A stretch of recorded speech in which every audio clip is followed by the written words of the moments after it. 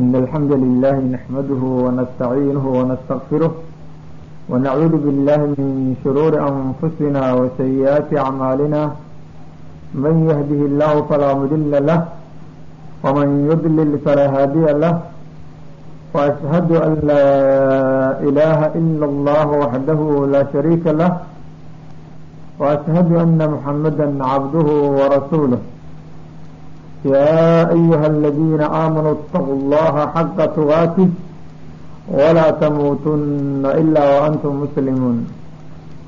يا أيها الناس اتقوا ربكم الذي خلقكم من نفس واحدة وخلق منها زوجها وبث منهما رجالا كثيرا ونساء. واتقوا الله الذي تساءلون به والأرحام إن الله كان عليكم رقيبا. يا أيها الذين آمنوا اتقوا الله وقولوا قولا سديدا. يصلح لكم أعمالكم ويغفر لكم ذنوبكم. ومن يدع الله ورسوله فقد فاز فوزا عظيما. أما بعد فإن أصدق الحديث كتاب الله وخير الهدي هدي محمد صلى الله عليه وسلم. وشر الأمور محدثاتها وكل محدثة بدعة وكل بدعة ضلالة وكل ضلالة في النار allah subxaanahu watacaala ayaan weydiisanaynaa inuu naga badbaadiyo bidcada iyo baatilka iyo waxyaalaha lagu cadaabtagayo oo dhanba halka kan waxaan ka soo jeedin doonaa haddii allah qadaro subxaanahu watacaala inagoo rabbiga awooda sarale ka kaalmo dalbayna risaalo ama sawaano aan u soo jeedinayo inan walba oo muslimad ah oo fahmaysa luqada aan ku hadlayo oo rijaynaysa allah kana baqanaysa daarta aakhiradana khayr rijaynaysa. Waxayna arrimahaas aan u soo jeedinayaa ay yihiin tilmaamaha lagu yaqaano sawjada saalixada ah oo kitaabka alla laga qaatay subxaanahu watacaala iyo sunnada nabiga sala allahu calayhi wasalam iyo culimmadii hormartay ee salafka aheed aqwaashooda intaba waxaa laga doonayaa qofka muslimka inuu u hogaansamo nusuusta rag iyo dumar intaba lianna allah subxaanahu watacaala wuxuu kitaabkiisa ku yidhi acuudu billahi min ashayطaani arajiim wma kana limu'mini walaa mu'minaة ida qada allah warasuuluhu amra an yakuna lahm اlkhiyaraة min amrihim wman yacsi اllaha warasuulahu faqad dala dalaala mubiina allah subxaanahu watacaala wuxuu ku cadeeyey aayaddaa ku jirta suurat اlaxzaab ninka mu'minka iyo gabadha muuminada a midnaba uma banaana laa-iqna uma ahan allah iyo rasuulkiisu hadday amar xukumaan inay amarkoodaas khiyaar ka qaataan oo ay siday doonaan yeelaan oo ay ka tagaan amarka rabbi oo waxay doonaan ay ku dhaqdaan looma ogolo ayuu allah yihi subxaanahu watacaala axadkii allah iyo rasuulkiisa caasiya nin iyo naag waxau doono ha noqdee waa ka lumay dariiqa xaqaa lumid aada u cad ayuu lumay oo weliba la arkayo inay aada u fog tahay. Waxaa laga doonayaa qof kastoo iimaan leh inuu rabbigii ka cabsado xaqana dhab u ilaaliyo.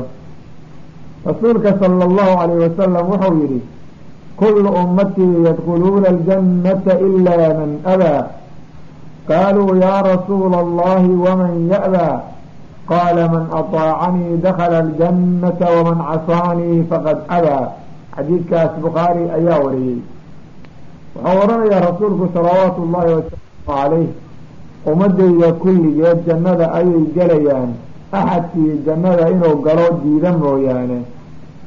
Rasuulka waxaa lagu yidhi jannada gelitaankeeda yaa diiday. Wuxuu rasuulku ku jawaabay sala allahu calayhi wasalam axadkay adeecaa jannada ayuu gelayaa qofkay caasiyaana jannada gelideeda waa uu diiday waxaad arkaysaa qofka dariiqa nabiga khilaafay in musiibo weynu ku habsatay jannadana uusan gelaynin meel daranna uu u socdo. Waxaan allaha weydiisanaynaa inuu camalkeena annaga iyo muslimiintaba ku anfaco. Camalkeennana uu ka dhigo mid u saafiya isaga wejigiisa.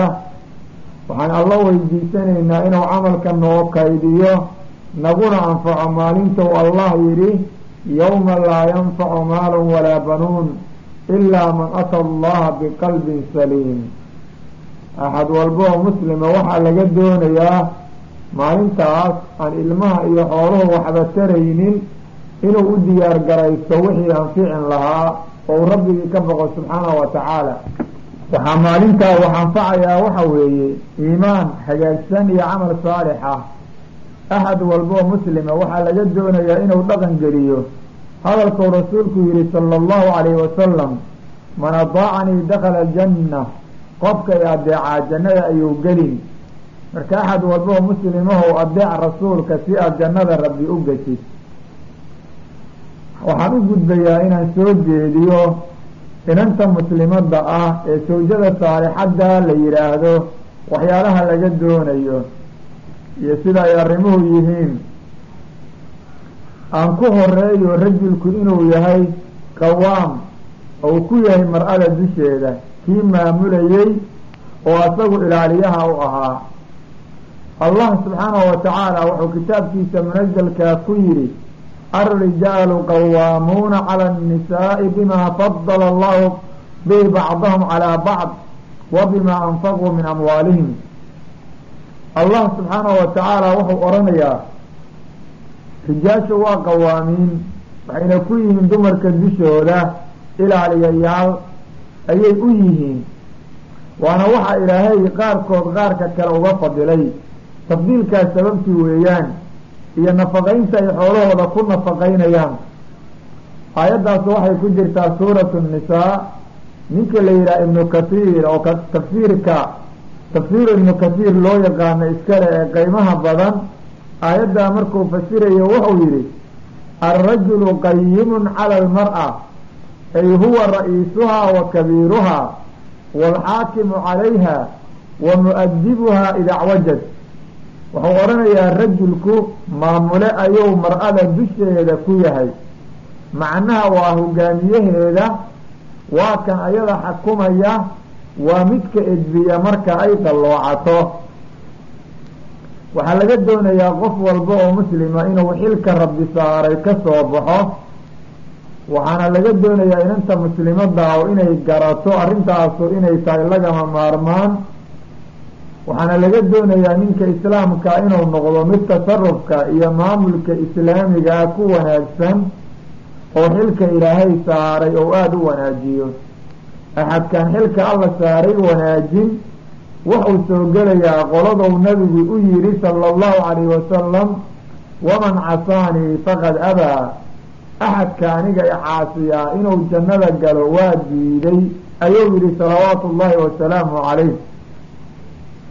Aayaddaa macnaha uu ku fasiray ibnu kathiir waxaa sii adkaynaya qowlka nabiga sala allahu calayh wasalam ou yidhi low kuntu aamiran axada an yasjuda ligayri illah la amartu lmar'ata an tasjuda lisawjiha axad bani aadama haddaan amrayo inuu qof u sujuudo alla kayrki ah waxaan amri lahay gabadha muslimadda ah inay sawjka ayada qaba u sujuudda ayuu yihi sala allahu calayh wasalam alla kayrki ha loo sujuudo haddaanba odhanayo taas ayaan dhihi lahay buu yihi salawaatu ullaahi wasalaamu calayh rasuulka oo warkiisa sii wadaa wuxuu yidhi waaladii nafsu muxamadin biyadihi laa tu'addi lmar'atu xaqa rabbiha xataa tu'addii xaqa zawjiha kullah.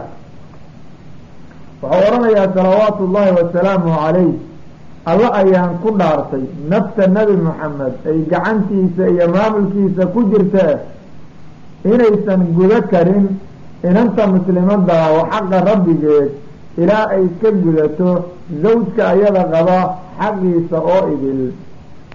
Sidaas ayuu yihi salawaatu ullaahi wasalaamu calayh.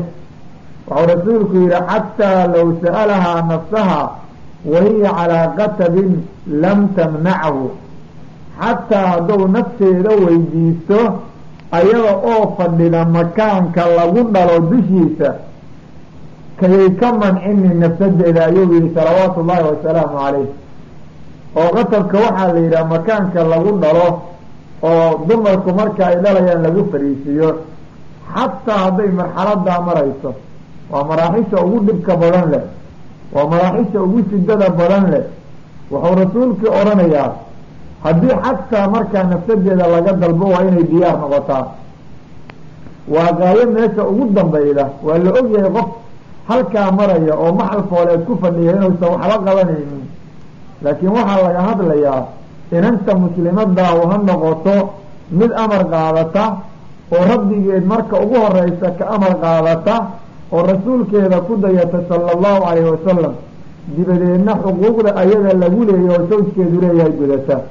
Xadiidka asaga ah waa saxiix wuxuuna ku yaalaa kitaabka la yidhaahdo saxiixu ljaamicu sagiir axad walba oo muslima waxaa laga doonayaa inuu xaqa u dhega nuglaado inanta muslimadaana waxaa laga rabaa inay janno rabbi shaqaysato laakiin waa inaysan odhanin awaamirta noocaana aniga maxaa la ii dul saaray? Wax kasta oo qofka rabbi u diro inuu fuliyo dan ayaa ugu jirta. Waayo waxa rabbi kuu dira fulintooda janno ayaa lagu galaa. Adigana danta aada leedahay waxa weeye in janno lagu geliyo naarna lagaa ilaaliyo waayo haddaad taas heshid wax damboo kuu dhiman ma lahan. Allah subxaanahu watacaala wuxuu yidhi faasaalixaatu qaanitaatun xaafidaatun lilgaybi bima xafida allah aayaddaas ayadaa ibnu tiimiya raximahullah isagoo fasiraya wuxuu ku yidhi kitaabkiisa la yidhaha majmuucu lfataawi faalmar'atu asaalixa mar-ada saalixada ah hiya alatii takuunu qaanita waa midda qaanitada ah macnaha waxaa loola jeedaa buu yidhi waa midda daa'imta calaa daacati zawjiha. Inay zawjkeeda adeecdo oy wanaajiso. Ibnu tiimiya wuxuu odhanayaa inanta saalixadda ah waa midda daacada zawjkeeda ay adeecaysa daa'imta.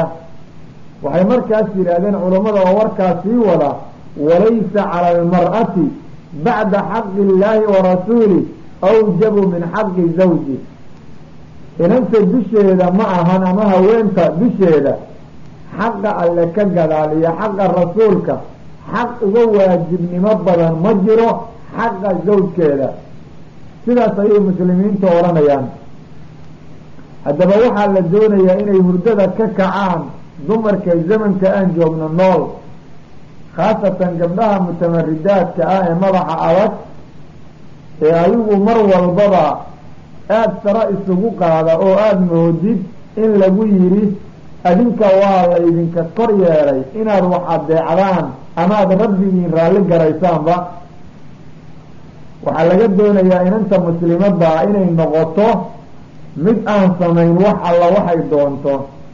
Markay doonto mid baxda markay doonto mid gasha oo ku socota biismi alxuriya xuriyadda magaceeda oo wax idha la arag. Haddaba dumarka sidaa yeelay xayaatadoodii aakhirada waxay ku iibsadeen nolol adduunyo oo aan qayma lahayn. Waxay layaceen aakhiradoodii waxay carageliyeen rabbigooda waxay baabi'iyeen aqalkooda waxayna layaceen owlaadoodii haddaba faxdirii yaa ukhtaa inanta muslimadahay digtoonaaw digtoonaansha kulligeed inaad xaqa ka inxiraaftid inaad dariiq shaydaan martid waa inaad ogaataa waxa kaa horeeyaa inay yihiin maalin yowman yajcalu lwildaanu shiiba ilmaha dhashay maalin ciro ka soo saarta ayaa kaa horaysa waxaa kaa horaysa maalintou allah yidhi watara annaasa sukaara wamaa hum bisukaara walaakina cadaab allahi shadiid waxaad arki doontaa dadka kulligood inay wada sakraansan yihiin. Sharaab lagu sakraamana dadku ma cabin ee cadaabka ilaahay ayaa mid daran oo dhibaato badan ah. Marka waxaa ku sugayaa waa maalmo noocaasa. Maalmaha qofka ay ka dambeeyaana siduu doono ma yeelo. Rabbigii ayuu ka cabsadaa. Rasuulka ayuu ku daydaa sala allahu calayhi wasalam xuquuqda ou alla kuleeyahay iyo xuquuqda kale addoommadu kuleeyihiin ayou gutaa. Inanta muslimadda waxaa laga doonayaa inay rabbi adeecdo oy rasuulka adeecdo ay ku dayato oo ay sawjka ayada qabana raalli garayso. Ninku inuu noqdo maamulaha haweenta ou qabo waa asbaab fidri ah oo rabbi makhluuqa ku khalqay subxaanahu wa tacaala. Rajulku inuu marada dusheeda yahay waa fitra rabbaaniye ah oon cid inkiri karta la arag. Cid bedeli kartana ma lahan. Ahad walboo muslima marka waxaa laga doonayaa inuu u hogaansamo qawaaniinta ou rabbi iska leeyahay aayadaha iyo axaadiista saxiixa ay cabirayaan oo rasuulku caddeeyey sala allahu calayhi wasalam adduunyadu waa mataac mataacdeedana waxaa ugu khayr badan zawja saalixad ah oo hagaagsan. Fii saxiixi muslim waxaa ku sugan oo cabdullaahi bnu camar saxaabiga la yidhaah laga wariyey ana rasuula allahi sala allahu calayhi wasalam qaal rasuulka alle inuu yidhi addunyaa mataacun wa kayru mataaci ddunyaa almar'atu asaalixa adduunyadu waa birbir iyo badeecooyin mataacda iyo raaxada adduunkana waxaa ugu khayr badan mar-a saalixa ah oo rabbi raalli garayda oon wax alla ka carooda lagu arkin oo aan diinta alla layicin oo dadka nolosha la wadaaga wanaajida. Aada ayuu u ammaanay rasuulku sala allahu calayhi wasalam sow kuguma habboona inanta muslimadda ahay inaad noqotid mar-a saalixa oo saqaro naareed ka badbaada oo sadka naciimo wax ka cunta oo safka nabiga la saaxiibta oo hawdka nabiga horay uga cabtoon dib u oogin oo saqaro naareed iyo sursuurta siraadka laga koriyo inaad noqoto sowma doonaysid rabbigaa ka cabso xaqa lagugu leeyahay ilaali maalin la wada qaawan yahay oo aan quruxu jirin oo aan dadku qabiil lahayn oo aan meel loo cararo la arkin ayaa naga dambayda. Maalintaas ayadaa garo oo daa'imkaaga ka cabso. Wa fii saxiixi albukhaariyi wa muslim waxaa ku sugnaaday xadiid abi hurayre laga wariyey oo rasuulka sala allahu calayh wasalam uu ku leeyahay tunkaxu lmar'atu liarbacin limaaliha walixasabiha walijamaaliha walidiiniha fadfar bidaati diini taribad yadaaka rasuulka sala allahu calayh wasalam wuxuu yidhi dumarka waxaa loo guursadaa afar arrimood mid ka mid a in lagu guursado maal ama lagu guursado qabiil iyo sharafta reerkeeda ama lagu guursado quruux ama lagu guursado diin afartaa mid kamida oon baa lagu raacaa ama afarta qaar kamida ayay isku darsataa rasuulku waxau yihi sala allahu calayhi wasalam axadka muslimkaahu adigu waxaad ku liibaantaa oo doorataa midda diinta u saaxiibka ah. Haddaad midda diinta le raaci weydo gacmahaadu way dufoobayaan dib iyo tacab ayaa ku soo gaaraya iyo waxaadan xambaari karaynin. Waxaa halkaa laga gartay sawjada saalixadda ah doorashadeedu inay tahay wax aada u wanaagsan. Saalixadna waxaa la yidhaha muslimad rabbigeed ku xidhan oo xaqa ilaalisa oo xaaraanta aada uga durugsan.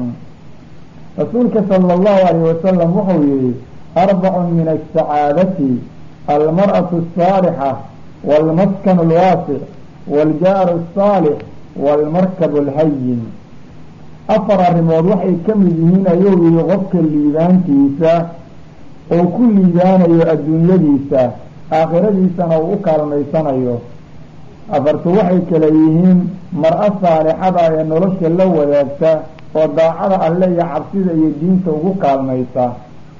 Kan labaad waxa weeye aqal waasica oon cidhiiri ahayn. Kan saddexaadna waa deris hagaagsan.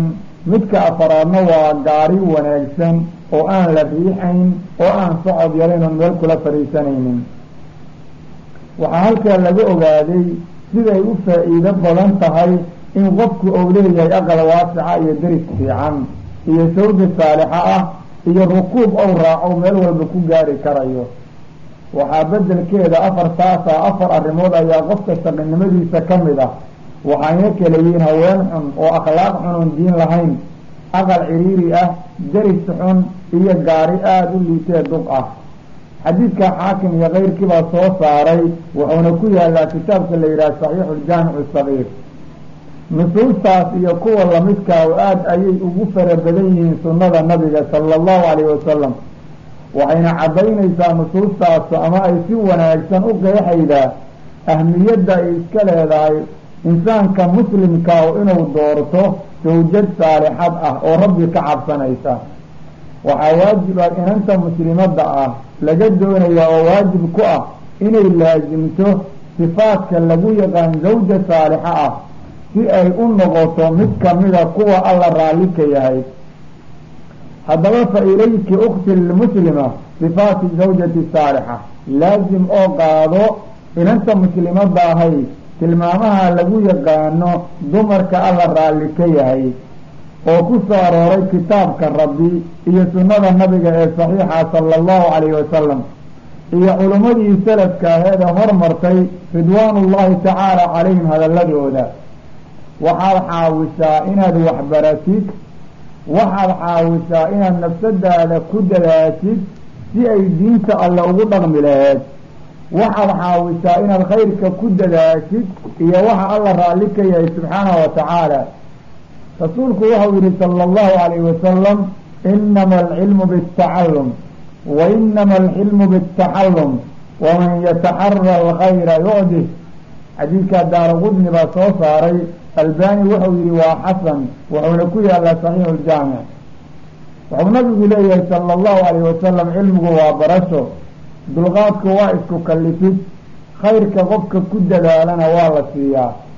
Haddii aad ku dadaashid tilmaamaha alla raalli ka yahay dumarka laga hela inaad yeelatid oo kale oo adigu aada dadaashid alla waa ku gaarsiin.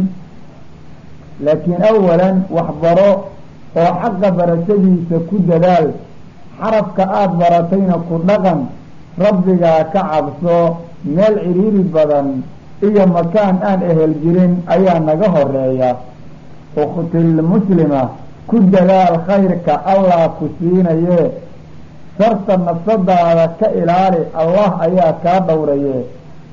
Ha layicin kitaabka rabbi iyo sunnada nabiga sala allahu calayhi wasalam ha u degdegin dunida jacaylkeeda iyo daba orodkeeda daarta adduunyadu waa meel raaxadeedu aysan raaxo ahayn dibkeeduna uusan waqti badan jiraynin.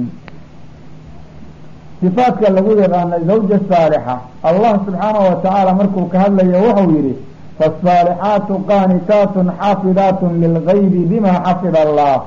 Fii suurati nisa ayuu alla saa ku yidhi xaafid ibnu kasiir ninka la yidhaha aayaddaa tafsiirkeeda wuxuu ku yidhi fasaalixaad oo min annisaa ka mida waa qaanitaad waxaa loola jeedaa sida cabdullaahi ibnu cabaas iyo keyrkii ay ku fasireen qaanitaadka waa mudiicaatun liaswaajihina aswaajta ayagu ay la nool yihiin ayay adeecaan xaafidaatun lilgeyb waxay ku fasireen sudi iyo keyrkii kolka uu sawjkoodu ka maqan yahay ayay naftooda iyo maalkiisa ilaaliyaan waxa kaloo ay saalixaadku qaanitaad ku yihiin xuquuqda allay xifdiyaan. Wixii rabbi ilaaliya yidhi ayay ilaaliyaan.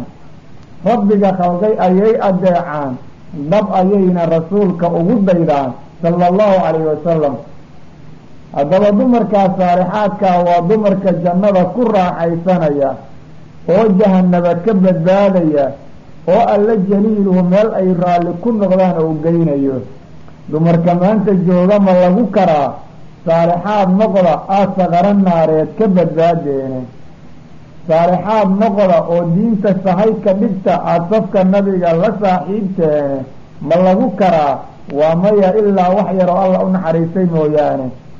Waxaad moodaa in lagu yidhi faajiraad noqda oo xaqa la dagaalama.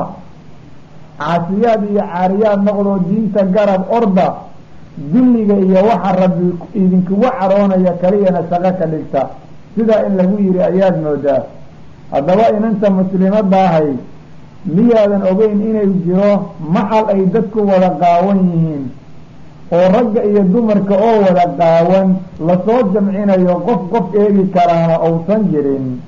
Maad rabbigaa ka cabsatid maad aayaadka alla ilaaliyid mase rasuulka si dhaba ugu dayatid sala allahu calayhi wasalam rasuulku wuxuu yihi sala allahu calayhi wasalam idaa sallat ilmar-atu khamsahaa haweenayda muslimadaa hadday shanta salaadood dukato ilaah ku farad yeelay wa saamat shahrahaa oo ay bisheeda ramadaanka soonto wa xasanat farjaha oo ay farjigeeda iyo jirkeeda zine iyo xaaraan qaawanaan iyo macsiyo ka dhowrto wa adaacat zawjaha oo zawjka ayada qaba ay adeecdoy warkiisa dhaqan gelido qiila lahaa waxaa xagga rabbi looga yihaa kolka ay dhimato udkhuli iljannati min ayi abwaabi iljannati shi'ti jannada gal albaabada jannada mid alla midkaad ka rabtidna oradka gal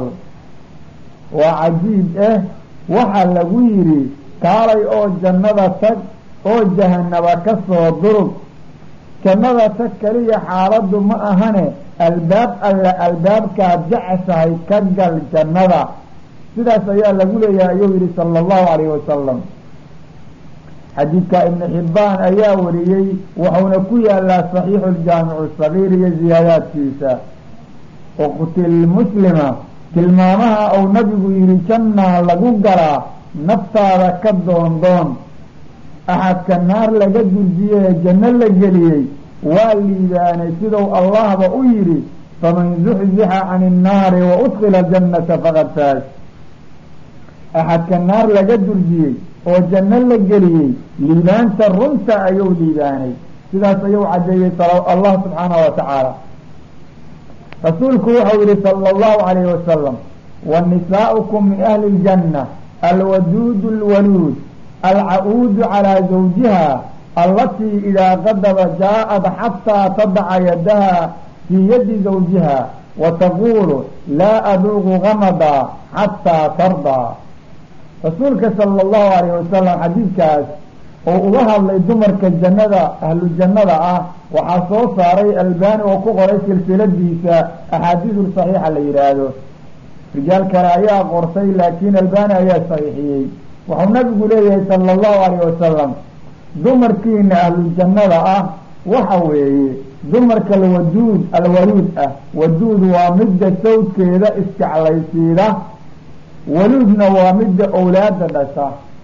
Owlaad dhaliddu waxay sii kordhinaysaa bay leeyihiin muslimiintu maxabada labada qofood isu qabaan ee ayadu ilmaha inay dhasho awalaysan keensan karin oo jannada gelitaankeeda shardi uma ah in ilma la dhalo macnaha meesha ku jira waxa weeye waduud waluudkuna wuxuu sii kordhinayaa markaa xubdigaa laysu qabo. Waxaa laakiin xaaladdu tahay waa mid sawdkeeda isjeclaysiida. Waxa ay jannada ku gelaysaana waa kuwan alca-uudu calaa zawjiha waa midda noqotee zawjka unoqo u noqota. Rasuulka ayaa fasiroo yidhi allatii idaa qadiba jaa-ad waa marka zawjkeeda u caroodo midda u timaada ilaa ay gacanteeda gacanta zawjkeeda ku dejido waxay odhanaysaa ma jiifsanayo ma nasanayo wax lagu raaxaystana dhadhamin maayo ilaa aada iga raali noqonaysid. Sidaas ayay odhanaysaa buu yihi sala allahu calayhi wasalam marka waxaad aragtay waxa ay ku janno tagtay waa raalligaraynta iyo caradaas ayadaa la dagaalankeeda uu zawjkeeda u qabo marka macnaha meesha yaallaa waxa weeye midda zawjka qaba raalli garayday waxa uga horeeyey inay rabbi raalli garaysay. Laakiin hadday ninka qaba raalli garayso asay daacada alle iyo diinta waajibka alla uga dhiga ay layacdo oo salaada iyo xijaabku ay ka mid yihiin wax laga yeelayaa ma jiraan. Raalligaraynta ninkuna waxba tari maysa markaa. Ee waxa meesha yaallaa waxa weeye xaqa rabbiyaa wax walba ka weyn ee kii alla soo gudo. Markaa ka gadaalna qofka nolosha alla kuugu daray wanaaji adigana alla ku wanaajinaye oo diinta alle sidaa ugu soco. Waxaa ku sugan kitaabka la yidhaha sunan الnasaa-i oo abu hurayre laga wariyey inuu yihi abu hurayre qiila lirasuuli llaahi sala allahu calayhi wasalam ayu nisaai khayr? Rasuulka waxaa lagu yihi dumarka yaa ugu khayr badan waxau rasuulku yihi sala allahu calayhi wasalam allatii tasuruhu idaa nadar.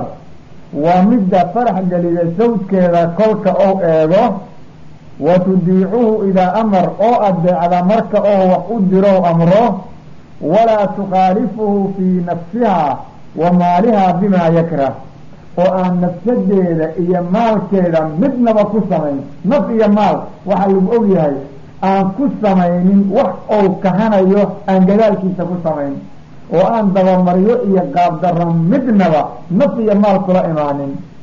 Marka la amray amar qaadan marka la eegay farax gelin waxaa loola jeedaa wax alla raalli ka yahaa laga arkaa waxaa kaloo laga arkaa nadaafad iyo wanaag fara badan inuu jirkeeda ka muuqanayo. Oo waxaad u jeedaa marka la leeyahay kolka la eego way farax gelinaysaa waxaa lagu farxo waxa ugu weyn oo qofka laga arko cibaaduraxmaan markuu alla ka sheekeynayey tilmaamuhu ku sheegay.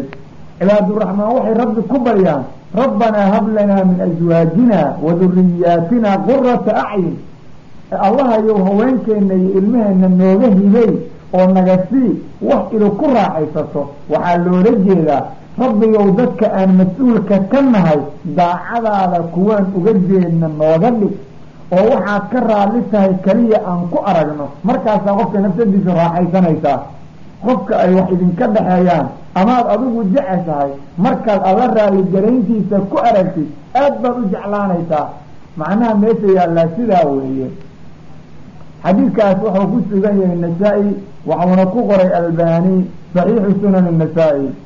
Haddaba raajici ukti limuslima nafsadaada dib ugu laabo tilmaamahaas xaggee baad uga sugan tahay.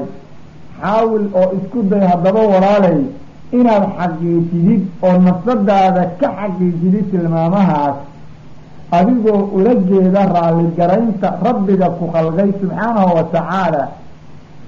Waxaad isku daydaa markaad rabbigaa raalli garaysid ka gadaal isku day inaad xaqiijidid nafsadaada iyo zawjkaaga iyo owlaadaada inaad u sameeyid xayaato lagu nasto oo lagu liibaano adduunka iyo aakhirada labadaba.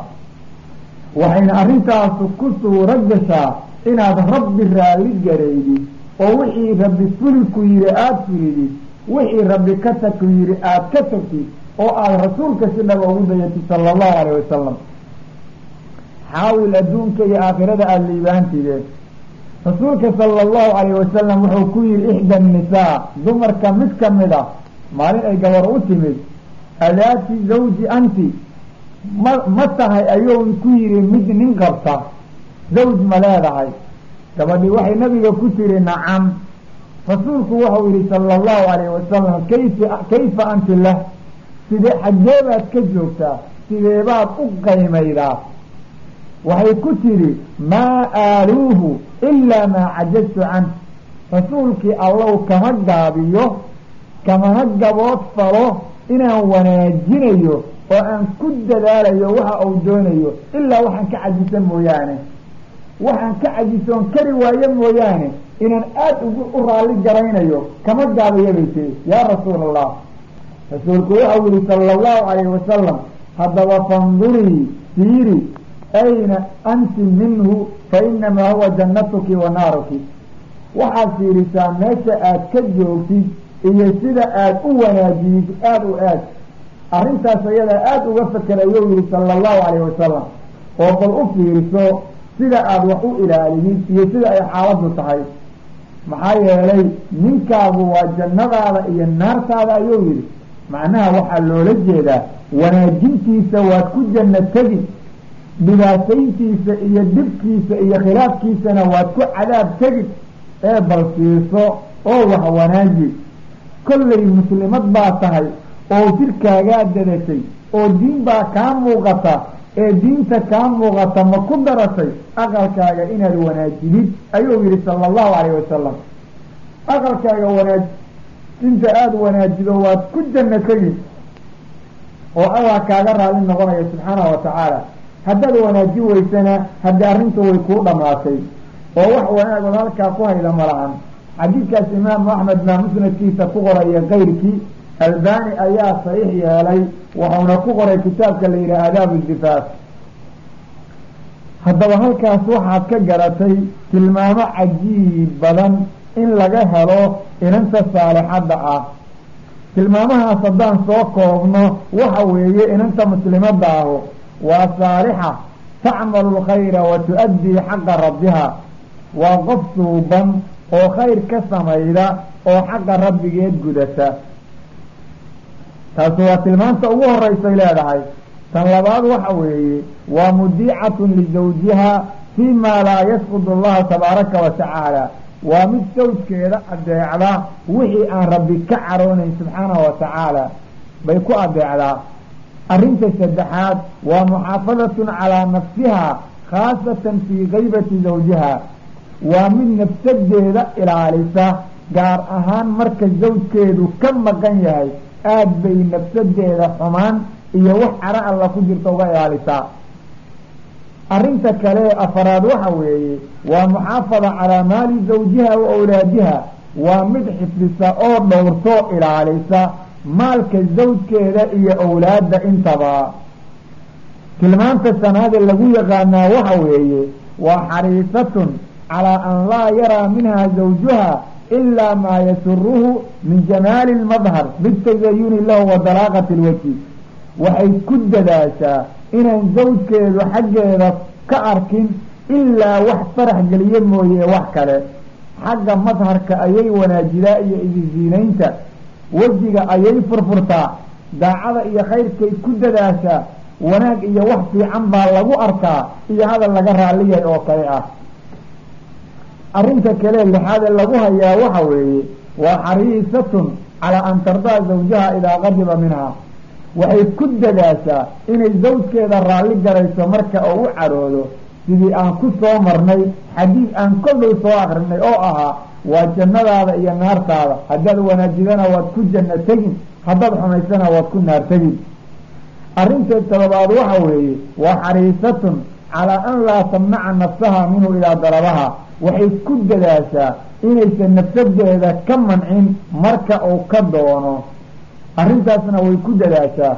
Maxaa yeele waxay is leedahay haddii aada wax diidid waxaa kugu dhici doona dhibaatooyin fara badan midda kale waxay doonaysaa inay janno ku gasho warkii uu nabigu yidhi ahaa sala allahu calayhi wasalam idaa sallat ilmar'atu khamsaha wa saamat shahraha wa xasanat farjaha wa adaacat zawjaha qiila lahaa udkhulii min ayi abwaabi aljannati fiik xadiidkaas inay dhaqan geliday doonaysaa markaabay iska ilaalinaysaa mukhaalafo iyo waxaa inanta saalixadda ah oo jannada alla shaqaysanaysa oo diinta alla ku socota tilmaamaheeda intaas ayaa lagu soo koobi karaa.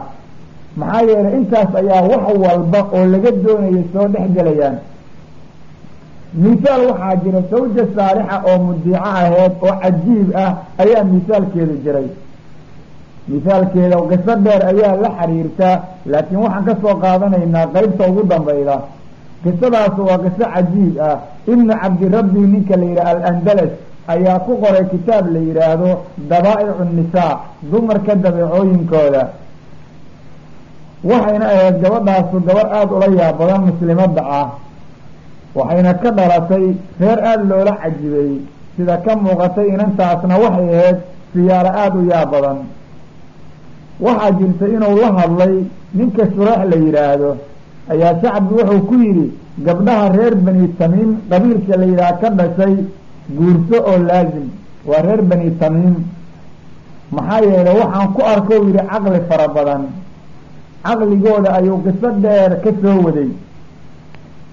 Ninkaa asaga ee ka sheekeeyey gabdhaha reer bani tamiim oo la yidhaahdo shacbi shureex la yidhaahdo wuxuu yidhi waxaan guursaday inan la yidhaha zaynaba inanta zaynabo la yidhaha markaa la ii aqal keenay hadal la yaab badan ayaan ku arka buu yidhi waxuu yidhi markaan gacanta xaggeeda u taagay oo aan jirkeeda inaan taabta doonayey waxay igu tiri calaa rislika abaa umaya abaa umaya tartiibtaada halkaaga fadhi. Xamdi ayay ku bilaabato alla ayay mahadisay nabiga ayay ku salliday sala allahu calayhi wasalam waxay tiri buu yidhi anugu waxaanahay gabar qariib ah oo aan akhlaaqdaada garanayn. Macnaha waa mid kugu cusub baanaan akhlaaqdaada oqoon haddaba ninyow ii cadday waxa aada jeceshay aan la imaadi eh. Waxa aada necab tahana ii cadday aan kaa ilaaliye ah waxay ku tiri waxaad kaloo ii sheegtaa yacni waxa aada doonaysid oo dhan qoonkaaga gabar ayaad hadda kahor ka soo guursatay wixii arrintu ahaatay iyo say xaaladdu tahay ii sheeg. Waxay ku tiri nin yahow sidii ilaahay ku amray mar walba fuli oo haddii qado iyo qadar alla yimaado sidii alla ku amro ahaa imsaakun bimacruuf aw tasriixun biixsaan si wanaagsan ku hay ku hayso inanta ama siidaa si wanaagsan. Hadalkeeda ayay dhamayd oo waxay tidhi aquulu qawli haada wa astakfiru allahu lii walak walaka waxau yidhi markaa surax ninka la yidhaahdaa wax ii dhibaato gelisaa ma inaan khudbo la imaado waxaana markaas u sheega buu yidhi arrimo cajiib ah oo ah waxa aan doonayo iyo waxa aanan jeclayn intaba. Markaas ka gadaal waxay igu tiri buu yidhi ziyaarada ahelkaaga ka waran yaad jecesha inay kuu soo galaan yaadansa jeclayn. Adugu qisada noocaasa ayay la gashay. Waa qiso cajiib ah oo inantaas ayadaa sida ay ninkaa isu adeeceen waa siyaa badan waxayna markaa ka hameenkaa ugu horeyda kala kala daraasaysteen qof walba waxa uu doonayo iyo waxa aan la doonaynin. Marka qisada ayadaa waxay ku sugantahay kitaabka la yidhaha dabaa'icu nisaa ta'liifkiisuna ou yahay ibni cabdirabbi alandalas waa qiso cajiib badan oo hadalla aada u yaab badan oo dhaadheer ayaa ku qoran. Marka qofka muslimka ahu waxaa laga doonayaa inuu ku daydo dadka khayrka leh diinta islaamkana sida ay tahay oo u ilaaliyo wixii alla ka caroonayo oo dhanna waa inuu isaga tago. Haddaba inanta muslimadda ahay waxaad ka digtoonaataa umuurta soo socota cilaaqada aada zawjkaaga la leedahay ka ilaali umuurta soo socota. Marada ugu horeysa waxa weeye isqaadi zawj sawjka inaad ka caraysiida iska ilaali. Rasuulka sala allahu calayhi wasalam wuxuu yidhi halaahatun laa tujaawisu salaatuhum aadaanuhum saddex qofood salaadoodu dhagaha ma dhaafto saddex qolo oo dadka ka mid ah salaadoodu dhagaha ma dhaafto ayuu yihi sala allahu calayhi wasalam alcabdu alaabir xataa yarjic addoon ka dhuuntay sayidkii iska lahaa salaadiisu dhagaha ma dhaafto ilaa uu soo laabanayo addoonkaa waxaa loola jeedaa dadka gaaladaa markii lagu duulay oo muslimiinta iyo gaala dirirto dadka gaalada laga soo qafaashay ee xurnimadii laga qaaday ninkii ka mas'uulkaay hadduu ka dhuunto inta diinta soo galo addoonku salaad laga aqbali maayo uu ka soo laabanayo. Axadka labaad waxa weeye buu yihi sala allahu calayhi wasalam wa imra'atun baatad wa zawjuha calayha saakid haweenay barisay oo hoyatay hameen ama maalin waxay doonta ha noqotee zawjkeeduna ayada dusheeda oo u caraysan yahay. Salaadeedu dhagaha dhaafin mayso ayuu yihi sala allahu calayhi wasalam oo kor u kori mayso oo xagga alla loo qaadi maayo. Axadka saddexaad waxa weeye wa imaamu qowmin wahum lahu kaarihuun waa ninkii dad imaam u noqday oo salaad dujiyey ayaguna ay asaga kahanayaan oo salaad dujintiisa aysan rabin oo aysan arki karin oo aysan wanaag iyo faa-iida midnaba ka arkaynin. Ninkaas haddou waxa lagu nacay ay diin xumo iyo bidca yihiin. Ee uu dadka qasab ku dujinayo salaadiisu cirka kor u aadi mayso oo dhagihiisa dhaafi mayda ayuu yihi sala allahu calayh wasalam dhegaha salaadu dhaafi mayda waxaa laga wadaa laga aqbali maayo ma laga yeelayo dadkaa salaada. Sidaas ayaa loola jeedaa. Salaadu kor aadi mayda buu yihi sala allahu calayh wasalam waa marka loo caraysan yahay. Yacni imaamka diin ahaanna loogu caraysan yahay. Laakiin haddii imaamka uu nin diin la yahay ee dadka uu dujinaya aysan ayagu diin rabin oy diinta ku naceen waa mawduuc kale. Waxaa lagu nacay waa inay xumaan ou sameeyo yihiin. Midda kale waxa necebna waa inay dadka agarkiisa yihiin. Laba qofood oo isnecbiin hadday meesha ku jiraan waxba maahan. Ee waxaa laga hadlayaa dadkii uu dujinayay ma agarkoodu way naceen. Waxa ay ku naceenna waa xumaan. Hadday xaqdarra gaar weeye. Xadiidka isaga saxiixu sunanu tirmidi ayuu ku yaalaa. Wuxuuna caddaynayaa inanta muslimadda ah ee sawdkeeda ka caraysiiday oo waxa ay u caraysiidana aysan xaq alla raalli ka yahay o aysan ahayn salaadeeda inaan la aqbalaynin. Hadday macruuf ayadoo amraysa ama munkar ka reebaysa oo ka carooday oo diinta alla nacayb oo u qabo oo ugu carooday hadda isaga daalim iyaduna dembi kuma lahan. Laakiin waxaa la doonayaa inanta muslimaddaa inay sawjka qaba raalli garaydo oy rabbi ka baqato oo ay diinta dhab u ilaaliso si alla ugu gargaaro adduun iyo aakhira. Intaba uktil muslima ilaali nusuusta oo rabbigaa ka baq subxaanahu wa tacaala waxyaalo badan ayaa rabbi jirkaaga ka rafacay laakiin waxyaalo badan ayaa laguu diray. Waxaa rabbi kaa doonaya fuli haddaad alle agtiisa wanaag ka doonaysid. Oo waxaa rabbi xuquuq lagugu leeyahay oo ka dhigay sida ay yihiin u ilaali arrinta labaad oo la doonayo muslimaddu inay ciraaqada zawjkeeda ay laleedahay ay ka ilaalisaa waxa weeye iidaa-u zawj inay dhibato zawjka ayada qaba imaamu axmed wuxuu wariyey raximahullah iyo keyrkii oo mucaad laga wariyey inuu yihi rasuulku wuxuu yihi sala allahu calayhi wasalam laa tu'dii imra'atun zawjaha fi dunyaa haweeney ma dhibto zawjkeeda. Rasuulka sala allahu calayhi wasalam wuxuu yihi laa tu'dii imra'atun zawjaha fi dunyaa ilaa qaalat zawjatuhu min xuuri lciin.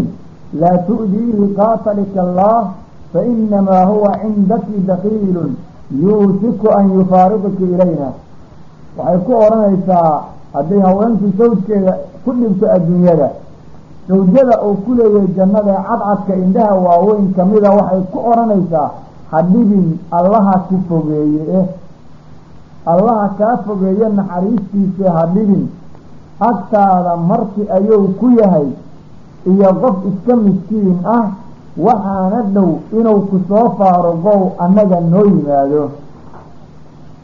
Hadda ninka sidaa loogu odhanayo ay ku odhanayso zawjo uu jannada ku leeyahay waa mid isagu khayr leh oo rabbigii ka cabsaday oo diin leh oo ay gabadhu edab darro ku dhibtay oo ay ka gardaran tahay. Kaas ayaa laga hadlayaa.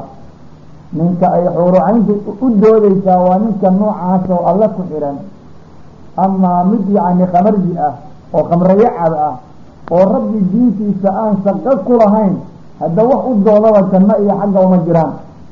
Kaasu isagu qiimo uu leeyahay ayaaba yaroon la aragba.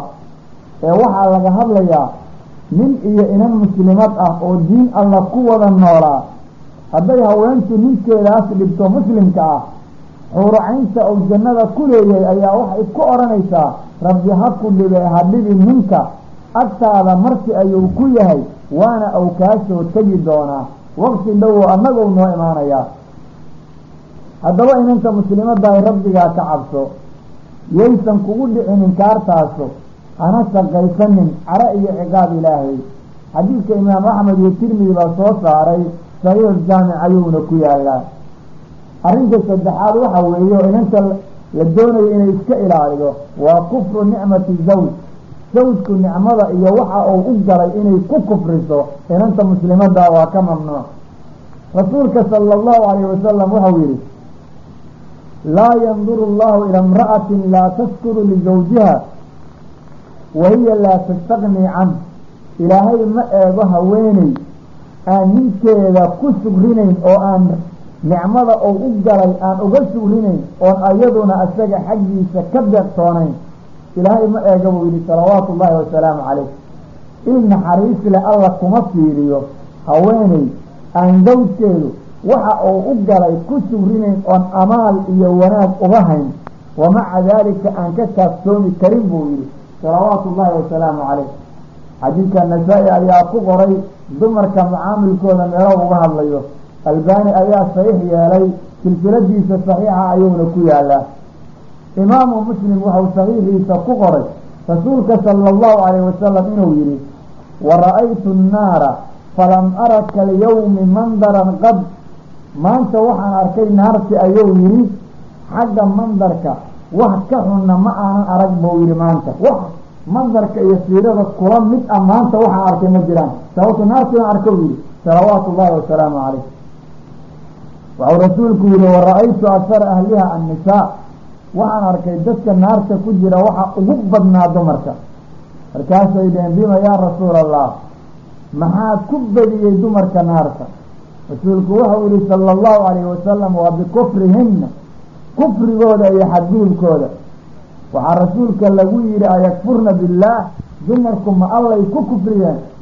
Rasuulku wuxuu yihi sala allahu calayhi wasalam alla kuma kufrin eh waa bikufri cashiir wa bikufri lixsaan low axsanta ilaa ixdaahuna addahr uma ra'ad minka shay-an qaalat maa ra'aytu minka khayran qad wuxuu yihi ixsaanka ka dhaxeeya ayaga iyo ninka qaba mucaamilka ka dhaxeeya waa cashiirkii bay ku kufriyaan oo inkiraan iyo wanaajinta oo dhan dumarka mid ka mid a haddaad weligaa wanaaji jirtay oo aada soo dhoodhoobtay oo aada dheef oo dhan ku beeshay oo aada xog iyo xoolo waxaad leel faraha ka saartay oo aada darteed dhibaatooyin badan u gashay oo aada si walba u caawisay oo maalinta dambe ay kugu aragto wax yar oysan jeclaysan. Waxay kugu odhanaysaa buu yidhi sala allahu calayh wasalam weligay wax khayr ah oo lagu farxaba kuguma arag. Wax alla waxaad u gashay oo wanaaga waxay ka dhigtay weyse saxara ka dambaysay. Weyse saxara ka dambaysay ma weysay noqonaysaa? Waa maya wax alla wixii loo soo wanaajiyey oo wax loogu qabtay oo lagu dhoodhoobay waxay ka dhigtay weyse saxara ka dambaysay saasaa lagu yaqaan buu yihi sala allahu alayh wasalam marka inanta muslimadda waxaa looga digayaa in ay ku kufrido ixsaanka loo galo. Waa inay rabbigeed ka cabsataa weliba si gaara waxaa dhex maraya ayada iyo sawjka qabo oo wanaaga. Waa inaysan ku kufrin waa inay khayr iyo wanaag ka aragto laakiin inay xumaan iyo balaaya ka aragta ma ahan rabbi ha laga boqo subxaanahu watacaala oo diinta islaamka hala ilaaliyo. War diintii waxaad moodaa dadku inay iska fududaysteen oo isaga dhaqaaqeen oo waxay doonaan ay yeelayaan rabbi ha laga boqo oo kitaabka alle dhaba loogu socdo si adduunka iyo aakhirada loo badbaado oo ciriiri adduunyo iyo cadaab aakhira looga koro. Arrinta afaraada inanta muslimadda looga digayaa waxa weeye inay dalbato furiin wax ku xambaaray ayadoon la arkin ayadoo wax loogu garaabo oo ku xambaaray aan la arkin inay furiin dalbataa waa mamnuuc. Tirmidi waxau soo saaray abu daawuud iyo keyrkoodba oo ninka tawbaan la yidhaah laga wariyey inuu yihi rasuulku waxau yihi sala allahu calayhi wasalam ayuma imra'atin sa'alat zawjaha addalaaq min gayri ba'sin faxaraamun calayha raa'ixatu ljanna wuxuu odhanayaa sala allahu calayhi wasalam haween alla haweentii ka ahoo zawjkeeda furiin iyo dalaaq weydiisata. Wax ku xambaaray oo dhibaataa iyadoon la arkin. Dusheeda waxaa ka xaaraan ah jannada carabteeda ayuu yihi sala allahu calayhi wasalam jannada carabteeduba waa ka mamnuuc ayuu leeyahay salawaatu ullaahi wasalaamu calayh. Waa haweentii weydiisata in la furo ayadoo dhib ku xambaaray oo loogu cudur daara uusan jirin. Haddii dhibaata jirto xag diin la'aaneed iyo xag nololeed oo ay sina u keeni weyday sharciyan waa loo ogolya laakiin dhibaato la'aan buu nabigu yihi edab daro bay ula jeedaa halay furo. Jannada alla waa ka xaraam buu leeyahy sala allahu calayh wasalam xadiidkaas saxiixu jaamicu sagiir baa soos ayuu ku yaalaa.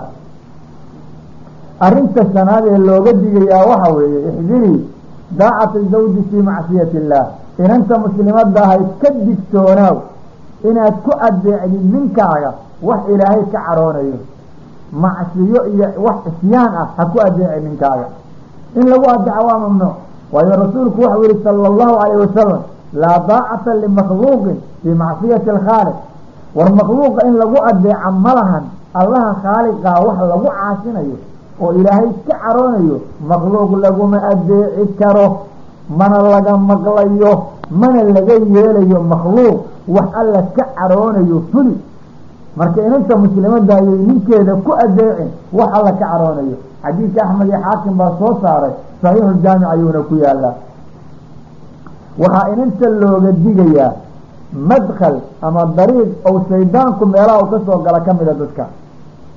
Dumarka maanta joogaya annagaba allahana hanuuniye markaad doontid inaad waxyaalaha yacni inantu doonto inay ka reebtoonaato wax zawjkeedu amray amarkuna sharci ahaan oo u bannaan yahay waxay odhanaysaa ma banaana waxaas ama waxaasu xaaraan weeye ama waxaasu sidaa maahan danta ay ka leedahana waa maxe waa inay warkaa sawjkeeda ka hor tagto marka waa madkhal madaakisha shaydaanka ka mid a dumarkaas iyo annagaba allahana hanuuniyo. Waxaad arkaysaa waxbaa loo dirayaa sharcigu ogol yahay. Wixii inay diiday rabtaa markaasay ma yeeli karo dhihi mayda waxay leedahay maba mama banaana. Maba banaanaba wax alla waxay rabtay xallilin waxay rabtana way xaaraameyn haye intaas waxay rabtaa inay wax ku diido waa cajiib. Waxaan xasuusin lahaa gabdhaha muslimaadka oo nuucaa yeelaya. Qowlku allah yidhi wa yowma alqiyaamati tara aladiina kadabuu cala allahi wujuuhuhum muswadda. Maalinta qiyaamada waxaad arki doontaa dadkii allah beeniyey wajiyaalkoodu inay madoobaan suurati zumar. Imaamka la yidhaha xasan albisri waxau yidhi walaa rayba ana alkadiba cala allahi wa calaa rasuulihi sala allahu calayhi wasalam fii taxliili xaaraam wa taxriimi xalaal kufrun maxdun shaki kuma jiro. Beenta allah lagu been abuurto iyo ama rasuulkiisa lagu been abuurto oo loogu been abuurto shay xaaraama in la xallilo ama shay xalaala in la xarimo inay gaalnimo berax la tahay shaki kuma jiro ayuu yihi xasan albisri aayaddaas saas ayaa laga garanayaana shaki ku jira malahan buu inay gaa gaalnimo maxdiya tahay. In ilaahay rasuulkiisa lagu been abuurto shay la xalilayo oo yani allah ou xarimay ama shay ma garanaysaa la xaaraameynayo oo awal xalaal ahaa. Ha layska ilaaliyo. Qofka muslimka ah shay diinta islaamka inay xarimtay ousan ogeyn waa xaaraam la iska ilaaliyo. Rag iyo dumar farqa ma lahan shay diinta islaamka inay xalaalaysay ousan ogeynna xalaalnimadiisa u isaga degdegaya iska ilaaliyo. Qofka muslimka carabkiisa ha koontaroolo arrintaas waa lagama maarmaan in la fuliyo. Arrinta lixaad ee inanta muslimada iska ilaalinaysaa waxa weeye soonka sunnadaa inay la timaado zawjkeeda oo xaadir ah haddii uusan asagu idmin waa ka mamnuuc. Saxiixa muslim waxaa ku yaallo abu hurayre laga wariyey. Rasuulka sala allahu calayh wasalam inuu yihi laa tasumu lmar'atu wa bacduhaa shaahid ilaa biidnih haweentu yay soomi zawjkeeda oo xaadir ah ilaa inuu isagu ogolaado mooyaane. Riwaayad kale ayaa caddaysay in soonku sunno yahay soonka waajibkaa cid laga idmanayaa ma jirto waa xaq alla leeyahay. Siyaamu lmar-a haweenta soonka ay soonto sawjkeeduna ou xaadir yahay. Waxaa ku sugan xaqii ou ku lahaa inay ka manciso. Xaqaasoo waajib ahaa. Soonkuna waa sunno. Soonka sunnada ayaa laga hadlayaa. Amaa soonka faradka ah waa xaq ilaahay. Xaqa allana isagaa ka horreeya xaqa zawjka iyo xaqa qof walba ou leeyahay. Qof walba xaqa lagu leeyahay waxa ugu horreeya xaqa uu rabbi ku leeyahay. Xaqa alle qof gutay ayaana xuquuqda kala guta. Qofka rabbigii raalli gareeyey ayaa wax kala wanaajiya. Marka rabbi ha laga boqo subxaanahu wa tacaala oo diinta sida ay tahay dad u ilaaliyo aan noqono arrinta kale ee todobaad waxa weeye ii ka reebtoonaanin inanta muslimadda ah min tamkiini zawjiha al-istimtaacu bihaa inay zawjkeeda isu makanido istimtaaca iyo waxa lamidka ah waayo rasuulku waxau yihi sala allahu calayhi wasalam idaa daca arajulu imra'atahu ilaa firaashi falam taatihi fabaata qadbaana calayha lacanata almalaa'ikatu xataa tusbix haddii rajulku zawjada ou qabo ugu yeerto firaaska ou joogo oo firaaskiisa ah oo aysan ugu tegin ee ou baryo isagoo u caraysan malaa'igta ayaa lacnadin ilaa uu laga waabariysanayo macnaha waxaa loola jeedaa ilaa uu ninku ka raali noqonayo. Malaa'igta ayaa lacnadi u ducaynaysa firaaskiisa hadduu ugu yeertay u tegi weyso shay cudurdaara oo diintu ogoshahay hadday la timaaday ugu tegi weyso nacam waa sakaraad. Dhibaatooyin baa haysa. Xanuun. Ma imaan karto.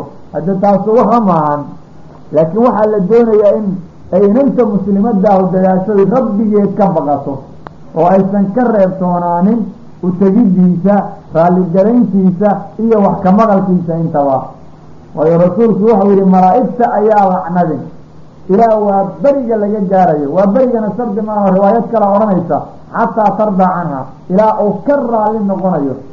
Oo wixii laysku qabto ay baaba-ayaan oo xaaladdu ay dhab u hagaagayso diinta islaamka dadku haddaysan ilaalin dulli iyo dhibka bixi maayaan. Haddii kitaabka rabbi iyo sunnada nabiga lagu dhaqmo sala allahu calayh wasalam ciriiri iyo dhibaato la arki maayo. Uqtil limuslima rabbigaa ka baq oo waxa kan laguu sheegayo xataa hadday kula culus yihiin jannaa lagu gelayaa janno gelidna wax sahlan ma ahan ee wixii lagugu yidhi jannaa lagu lagu gelayaa ha cuslaysanin yay kula dhib banaanin ku qasab naftaada kana dhaadhici nafta adduunka in maalmo la joogayo oo aakhiro loo socdo. Aakhirana wax lagu farxo waxa ugu weyn in cadaab lagaa koriyo oo xawdka nabiga laga cabo oo ilaah ridihiisa la helo firdowso lagu raaxaysto. Saas ayaana lagu gaarayaa baa lagu leeyahay arrimaha kan ee fuli oo rabbigaa ka baq subxaanahu wa tacaala. Arrinta sideedaad waxa weeye waxaa looga digayaa inanta muslimadda ah inay fiiso asraaru listimtaac istimtaaca sirar sirarka uu iska leeyahay asmaa binti yaziid inanta la yidhaah oo saxaabiyaddaa waxay tihi rasuulka sala allahu calayh wasalam wuxuu yidhi lacalla rajulan yaquulu maa yafcalu biahlih walacalla imra'atan tukbiru bimaa facalat maca zawjiha waxaa la arkaa nin inuu ku hadlo waxa uu ku sameeyey haweentiisa sidaas ayuu yihi sala allahu calay wasalam waxaa kaloo la arkaa haweenu inay ka waranto waxa ay sawjkeeda la samayday iyo siday is yeelaan waxay tidhi inanta la yidhaha asba bintu yaziid oo saxaabiyadda ah fa arama alqawmu ay sakatuu walam yujiibu dadkii way aamuseen mana aysan ajiibin warka nabiga. Oo qof hadlay ma jiro axad walba inta baqow iska aamusay. Waxay tidhi asmaa bintu yaziid faqultu waxaan anigu ku idhi ii wallaahi yaa rasuula allah inahuna layafcalna wa inahum layafcaluun rasuulka allow nacam ilaah baan ku dhaartaye dumarku way sameeyaan oo waxa ay raggooda la sameeyaan way ka waramaan nimankuna way ka sheekeeyaan waxay dumarkooda ku sameeyaan rasuulka allow arrintaasu waa arrin jirta ragguna way fuliyaan dumarkuna way fuliyaan afcaashaana way ka wada dhacdaa oo way ka sheekeeyaan waxay aqalka ku sameeyaan rasuulku waxau yihi sala allahu calayh wasalam falaa tafcalu war sidaa ha yeelinina oo arrintaa ha ku dhaqanina fa inamaa dalika matalu shaydaani laqiya shaydaanatan fii dariiqin fakasiyahaa waannaasu yanduruun buu yihi sala allahu calayh wasalam sidaa ha yeelininoo ha ka waraminina axadka waxa uu haweentiisa la sameeyey ninka ka sheekeeya oo istimtaaca ah iyo haweenta ka sheekaydaa waxay la mid yihiin buu nabigu yihi shaydaan shaydaano dariiqa kula kulmay oo dadka oo eegaya halkaa ku booday oo halkaa waddada bartankeeda ugu tegey ummadii oo dhanna ay eegayaan qofkaas shaydaankaa shaydaanada halkaa ugu tegey soo wax lala yaabo ma aha wax uu sameeyey. Saas ayay la mid buu yihi sala allahu calayh wasalam waa arrin xun buu leeyahay. Waxaa halkaa laga gartay asraarta istimtaaca oo sirta ah oo labadaa qofood ka dhaxayda in banaanka lagu fidiyaa labadooda qofka rabaaba ha fidiye waa mamnuuc waana loo diiday inanta muslimadda ee saalixadda ah ee ridaha alla kasbanaysana tilmaamaha lagu yaqaan ka mid ma ahan inay asraarta sariirteeda ay banaanka geyso. Wax loogu talagalana maahan xadiidka axmed baa soo saaray. Albani ayaa saxiix yeelay. Shawaahidda xadiidka markuu eegay sida uu ku qoray kitaabkiisa aadaab aadaabu sidaadka ah. Waxaa la doonayaa qof walba oo muslima inuu ku dadaalo khayrka. Inanta muslimadda waxaa kaloo looga digaya arrinta sagaalaad inay dharkeeda ku siibto aqal aysan ku asturnayn. Yacni riwaayadaha qaar waxay leeyihiin beyta zawjiha. Riwaayadaha qaar aqalkeeda ama aqal hooyooyinkeeda hooyo ka mid a muslimiintu waxay ku fasirayaan inantu yaysan dharkeeda ku dhigin meel ajaanibu ku arki karto. Rasuulku waxau yihi sala allahu calayh wasalam ayuma imra'atin nasacat siyaabaha fii gayri beytiha kharaqa allahu caza wajalla canhaa sidraha. Haween alla haweentii dharkeeda ku siibta oo ku bixisa aqalkeeda meel aan ahayn way dilaacisay asturkii macnaha rabbi baa ka dilaaciyay xaggeeda asturka asturkii alla ugu talagalo ugu ceeb qarinayey ayaa alla ka qarariyaa ayuu yihi salawaatu ullahi wasalaamu calayh. Allah ka dilaacinaya waxaa loola jeedaa inanta muslimadda ah meel jirkeeda ay halis ku tahay ajaanibtu inay aragto oo aysan ku asurayn aysan ku qarsanayn dharkeeda yay ku bixinin oo rabbi ha ka cabsato xadiidka imaam axmed iyo keyrka ayaa soo saaray saxiixuljaamic ayuuna ku yaalaa. Waxaa kaloo inanta muslimadda laga doonaya arrinta tobnaad inaysan beydkeeda sawdkeeda soo gelin axad ilaa inuu isagu ogol yahay mooyaane.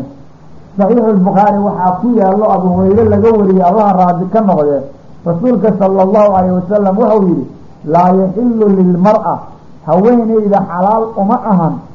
An tasuuma wa zawjuhaa shaahidun ilaa biidni. Inay soonto ninkeeda oo xaadira oo jooga ilaa inuu ogol yahay mooyaane. Waan soo ogaanay soonku inuu kan sunnadaa yahay.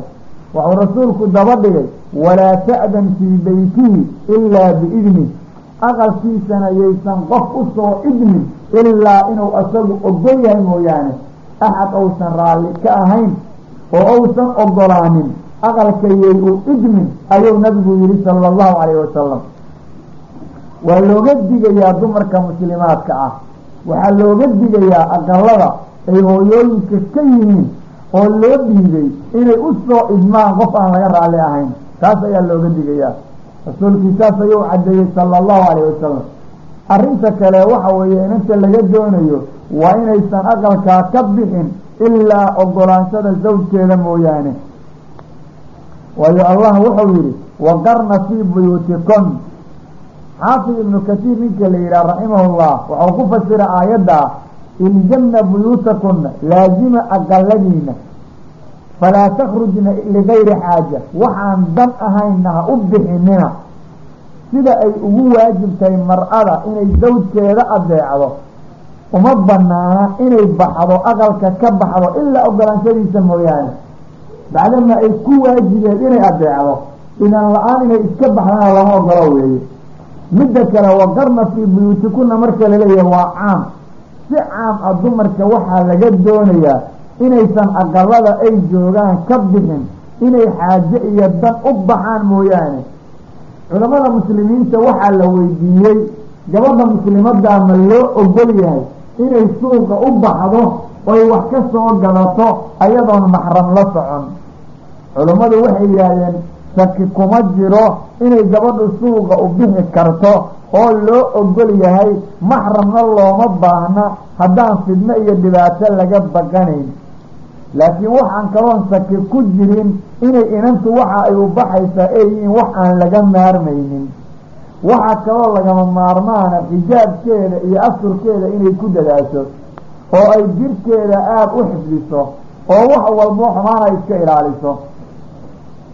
Waxaa laga doonayaa haweenta muslimadda ah inay sawjkeeda u adeegto. Waa khidmatu lmar'ati lisawjiha inanta muslimadda oo sawjkeeda u khidmaynaysa ukhtilmuslima waxaa misaalku ugu filan dumarkii saxaabiyaadka ahaa waa kaa kaafiyaan wax walba. Waxay u khidmay jireen aswaajta qabta saxiixu muslim waxaa ku sugan asmaa binti abibakar inay tiri jubayr baa i guursaday maal ma lahayn fara badan addoommo ma lahayn faras baa u joogay faraska anaa calfi jira bay tiri anaa u soo guri jiray geedaha lafaha timirta anaa u siibi jiray ratigiisa biyaha anaa soo soo dhaami jiray oo dhabarka ku soo qaadi jiray waxay tihi cajiinka anaa samayn jiray oo muufaha dubi jiray. Muufaha dubitaankiisana ma oqoon eh. Gabdho wan wanaagsan oo reer ansaareeda ayaa ila wanaaji jiray. Xadiidkaasu isagoo dheer oo macnahaa tusinaya ayuu saxiixu muslim ku yaalaa waxay sheegtay inanta la yidhaha asmaa binti abibakar lafaha timirta inay ka soo qaadi jirtay beerta ou zubayr lahaa oo dhowr farsak jirtay. Macnaha farsak saddex loo dhigay labadii meelood jirtay aan orantay ayay jirtay waxay tii ratiga ayaan u dhigi jiray lafaha timirtood u jajabi jiray. Faraska ayaan u soo guri jiray wixii oo lagu calfin lahaa. Faraska ayaan u subki jiray. Biyaha ayaan dhabarka ku soo aroori jiray. Cajiinkana waan hagaaji jiray. Sidaas ayay asma odhanaysaa radia allahu canha rasuulkuna wuxuu yihi sala allahu calayhi wasalam low taclamu lmar'atu xaqa zawji low ay haweentu ogtahay xaqa zawjkeedu leeyahay lam taqcud maa xadara gadaa'uhu wa casaa'uhu xataa yafruqa minhu ma aysan fadhiisateen casadiisa iyo qadadiisa meel ay taallo ilaa uu ka dhamaysto intuu cunayo way taagnaan leed macnaha xadiidkaa dabaraani baa ku qoray mucjamulkabiir masalada laysku hayaa waxa weeye mawaajibba inay mar-adu ama sawjada muslimadda ah ninkeeda u adeegtaa maslas waajib kuma ahan. Adilada marka la eego waxaa laga garanayaa inay waajib ku tahay sawjadu inay ninkeeda adeecday u adeegto in alla intay awood u leedahay. Laakiin masalada culammadu waa isku khilaafeen shaykhulislaam ibnu tiimiya ninka la yidhaah wuxuu ku yidhi kitaabkiisa fataawaha ah masalada culammadu way ku murmeen waxayna yidhaahdeenay ku murmeen inanta muslimadda ama waajibba inay aqalka ka adeegto oy cuntada iyo sharaabka muufaynta waxsiiyidda iyo calafka yacni dadka aqalka jooga iskeli ay cunayaan ay hagaajido. Culammada qaar waxay yidhaahdeen gabadha waajib kuma ahan inay khidmaydo. Ibnu tiimiya wuxuu yihi wahaada alqowlu daciifun. Hadalka odhanayaa gabadhu inay adeegto waajib kuma ahan waa daciif waxauna la mid yahabuu odhanayaa qoladii tiri laa tajibu calayhi alcusratu waalwad ninku hadduu gabarh guursado waajib kuma aha inuu jamiic ugu tago waajibna kuma aha inuu dumar ahaan ula mucaamaloodo aqalka iska joogi karaa cuntada u siin karaa saasay leeyihiin qolada sidaa tiri warkoodoo kala weeye wuu yihi maxaa yeele culammada qaar baa waxay sheegeen ninka waajib kuma ahan gabadha inuu jamiic ugu tago oo haddausan jamiic ugu tegeyn maxay ka ag samay rabtay waxay ula jeegaysa maxay ahaayeen? Marka qolada tiri inay gabadhu adeegtaa waajib kuma ahan. Waa qolada tiri ninku inuu jamiic la yimaado waajib kuma ahan. Qolada sidaa tiri ayay la mid la mid yihiin buu yihi sida sawaabtaa waxa weeye wujuubu lkhidma khidmadu waa waajib. Sidaasna waxaa laga garanayaa nusuusta ka sugan xagga nabiga sala allahu alayhi wasalam laakiin khidmada waajibka waa intay inantu awood u leedahay maxaa yeelay mid baa taag daran mid baa jiran. Wax alla wixii ay qaban kartay qabanaysaa gabadha baadiyaha joogtaa sida baadiyaha looga adeegay u adeegi midda magaalada joogtaa sida looga adeegay u adeegi xaqu waa sidaas haddii ilaahay doono subxaanahu wa tacaala. Xaqu wuxuu yahay annahu yajibu cala almar-a khidmatu lbeyti haweenta inay waajib ku tahay aqalka inay ka adeegto sidaa waxaa qaba imaamu maalik iyo rijaal fara badan oo kale. Qolada tiri dumarka inay ka adeegaan aqalada waajib kuma ahana waxay culammadu sheegeen wax daliila oo saalixa inaysan la imaanin. Waxayna ayagu markaas sheegteen nikaaxa waxaa loogu talagalay in laysu adeega maahayna istimtaac bay aheyd bay leeyihiin. Warkoodaasna aada ayaa loo radiyey waana war aan wax daliila haysanin hadda ka waxaa in badan aniga ii muuqanayey culammada shaaficiyada markaan wararkooda akriyey oo kali ah inaysan waajib ku ahayn haweentu inay aqalka ka adeegto amay khaadim ka noqoto. Laakiin markaan wax badan akriyey waxaan ogaaday xaqu inuu yahay qolada tiri waa waajib inay ka shaqayso aqalka.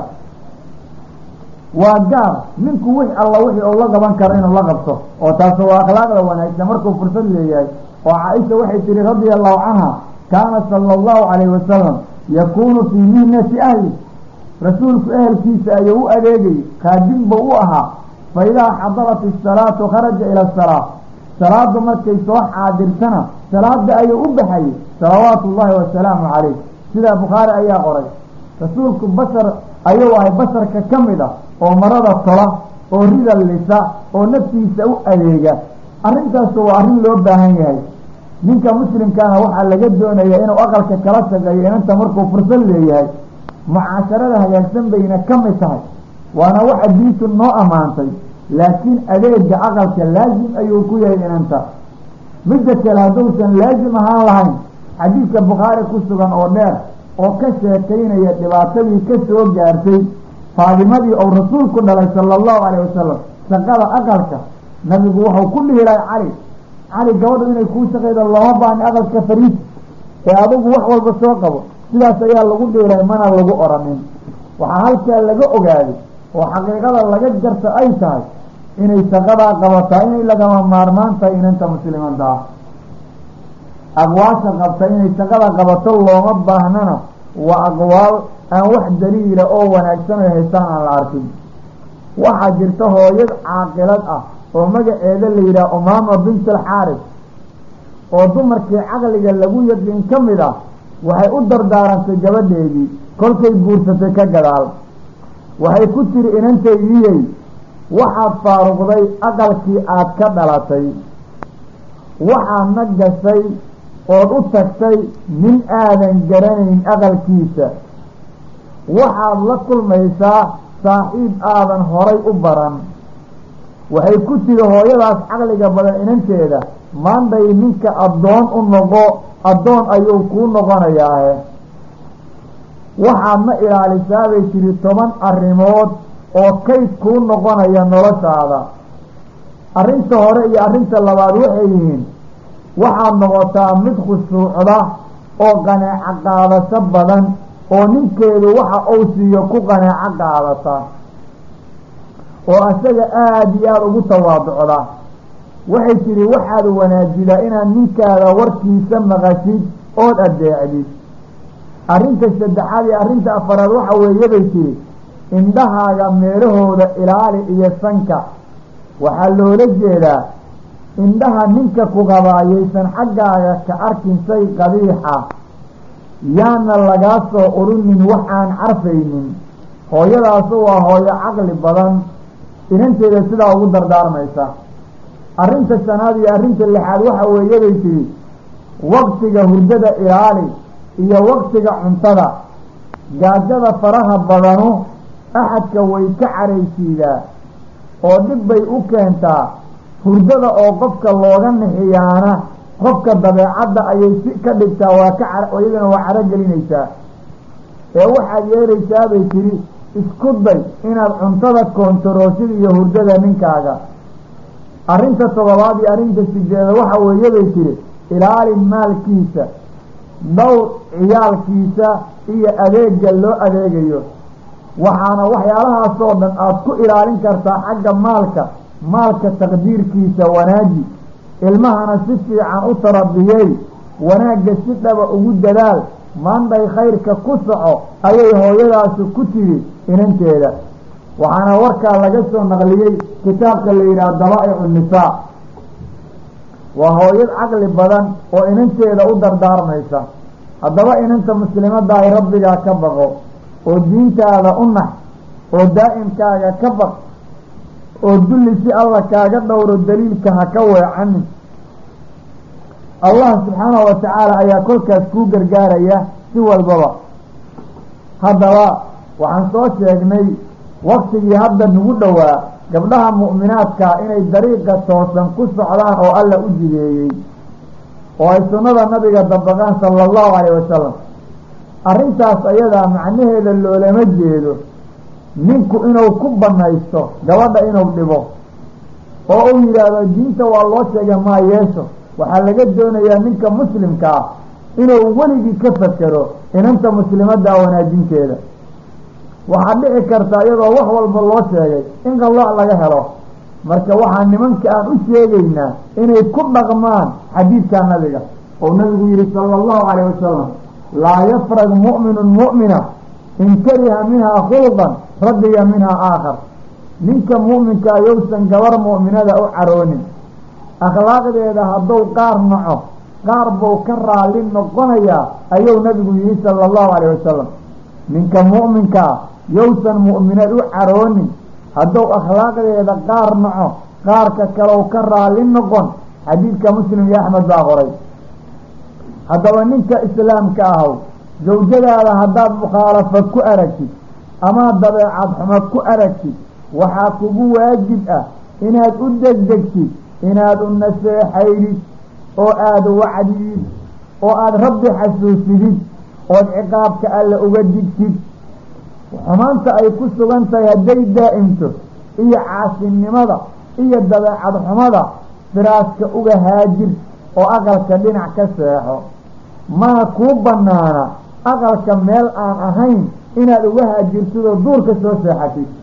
Waayo rasuulka ayaa xadiis ku yidhi walaa tahjur ilaa fii beytin aqalka meel aan ahayn ha uga haajirin. Hadday toosnaato oo ay ka soo laabato qaladaadka waa bisha soo dhowey ha dhibaataynin ha dhaleecaynin waxna ha ka sheegin. Hadday soo laabo diiddo sow ma ahan waanada ku celceli oo si fiican ula hadal oo rabbi aada u xasuusi subxaanahu wa tacaala ilaa ay ka soo laabanayso.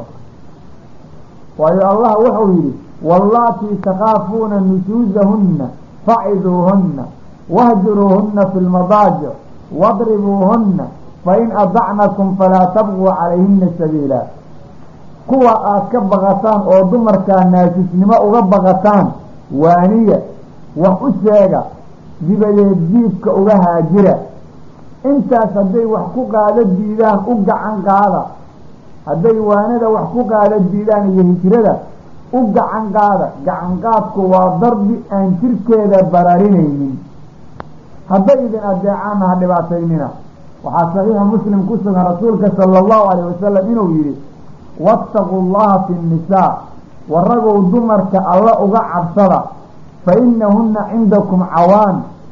Dumarku agtiina kuwa qafaalan bay ku yihiin oo asiiraad oo kale ah.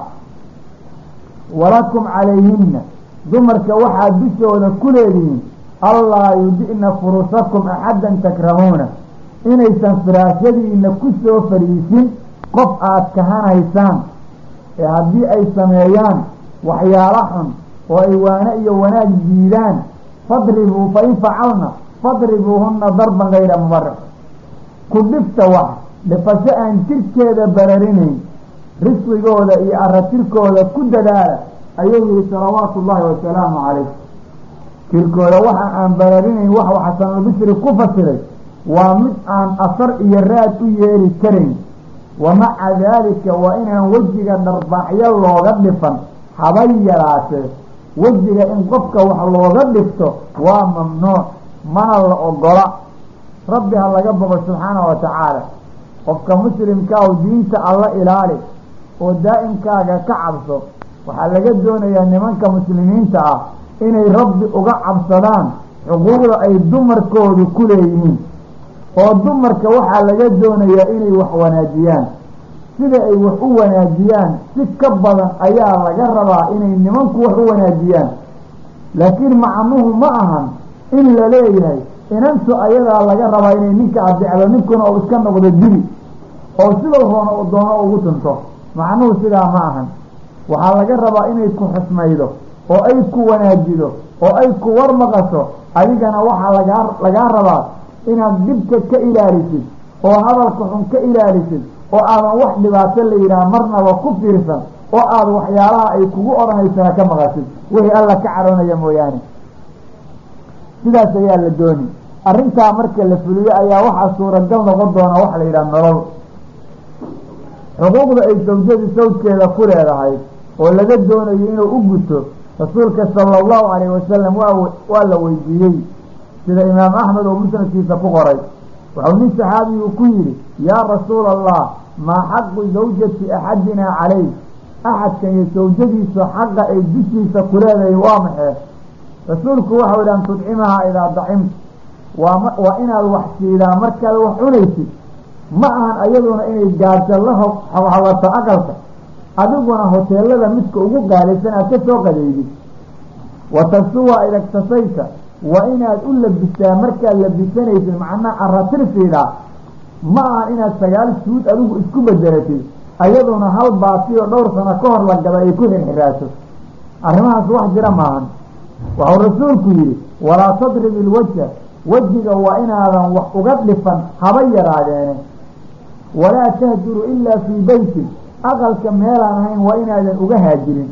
Oo haddii wax idin dhex maraan aqalkaa ka bixin waxaa kaloo laga doonaa riwaayad kale ku darta walaa yuqabix waa inuusan lacnadu kugu dhacda iyo wejigaagaa madow iyo folyadikaaha iyo wasaqyaha iyo waxyaala noocaasa waa inuusan ku dhihin ninku gabadhaw qabo albani irwaa lqaliil buu xadiidkaa ku takriijiyey. Xaakim wuxuu yihi waa saxiixu lisnaad dahabina waa ku waafaqay waana siday u sheegayaan. Waxaa laga doonayaa rijaasu inay ilaaliyaan wanaagga oo ay dumarkooda diinta baraan oo ay rabbigood ka cabsadaan subxaanahu wa tacaala.